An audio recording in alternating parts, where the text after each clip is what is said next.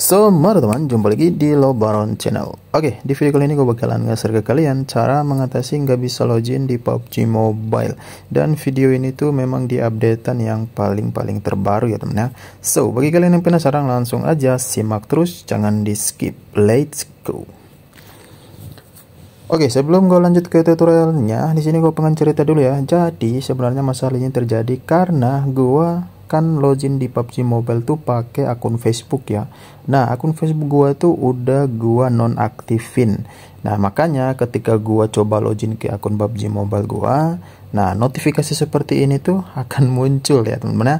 Nah, dan setelah gua coba untuk ngebuka ulang ya Facebook gua ya. Jadi gua nggak me nonaktifin lagi ya. Gua udah unlock dan setelah gua unlock dan gue coba login dan masih sama teman ya dia masih nggak bisa untuk login atau masuk ke PUBG Mobile-nya.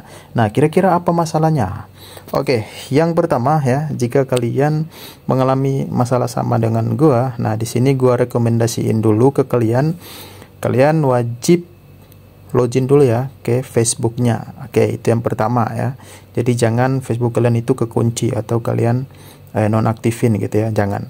Nah kemudian yang kedua itu kalian wajib nonaktifin VPN nah kalian bisa lihat ya VPN gua di sini ada dua ya ada VPN nih ada dua ya yang ini dan yang ini oke? Okay?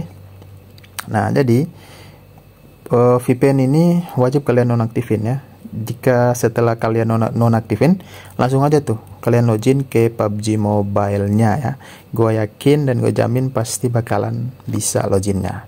Oke jadi itu aja sih ya. Simple aja untuk cara uh, login di PUBG Mobile yang notifnya seperti yang udah gue tunjukin di awal tadi. So bagi kalian yang merasa video ini bermanfaat jangan lupa ya. Seperti biasa like dan juga subscribe kalau berkenaan sih Oke, gue Baron, sampai jumpa di video berikutnya.